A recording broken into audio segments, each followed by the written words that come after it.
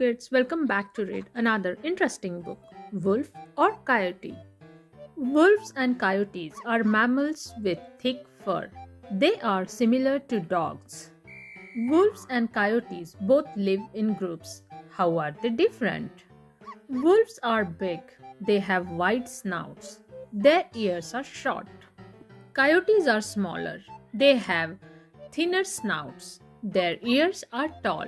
Wolves can be gray, black, or white. Coyotes are often gray, some are red and brown. Different lives. Wolves and coyotes make sounds to communicate. Wolves howl, a long, low call. Coyotes bark. The sound is short and high pitched. They howl too. Wolves hunt large animals like elk. Coyotes hunt small animals like rabbits. Which hunter is this? Side by side. Grey, white, and black fur, short ears, wide snout. That is wolf. Howl to communicate, hunt big animals. That is wolf. Tall ears, thinner snout, red and brown or grey fur.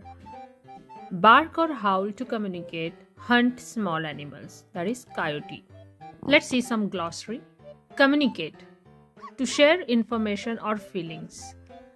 Mammals. Warm blooded animals that have hair and feed their young milk.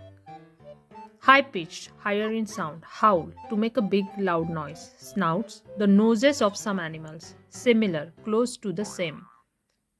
The end.